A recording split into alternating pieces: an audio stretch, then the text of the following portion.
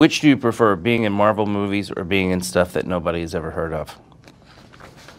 Uh, being in Marvel movies. I mean, do you go to your acting coach and go, I've got to play a goddamn ant. What am I supposed to do? I You mean, lost me at acting, coach. Yeah, that seems about right. Some people have it all looks, talent. How does it feel to only have looks? Great. What advice would you give to a young actor who wants to hide his Jewishness as well as you have? But I've never really tried to hide my Jewishness. Jesus was Jewish and he didn't hide it. No, he, he put it out there for everybody to see. He's one of our best.